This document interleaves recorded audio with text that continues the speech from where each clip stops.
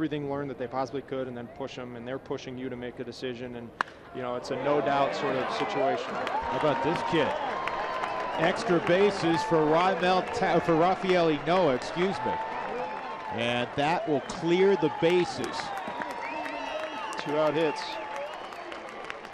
invaluable he's an you know we talk about Story overshadowing Adames. Adames may be overshadowing Ynoa. he's a he's a ball player. He is a ball player. Our, our, scouts, I think it was Mike Paul, Mike Paul, John Weil. Um, you know, you know, it was in the Dodgers system prior to come to us. Uh, they did a great job in, in identifying a minor leaguer that they felt was was ready to start blossoming into a big leaguer.